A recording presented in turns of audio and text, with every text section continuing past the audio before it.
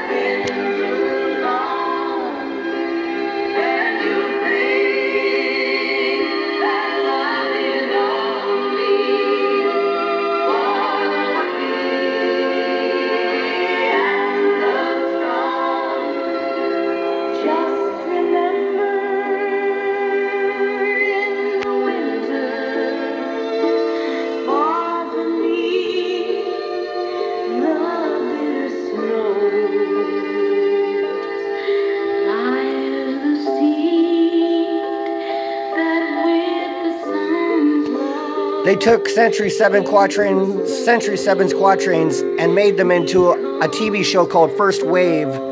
They're from Century 7 of the quatrains of Nostradamus. The Illuminati stole them and sold them to Hollywood. In honor of Darlie Routier, who suffered enough from Texas. The Rose.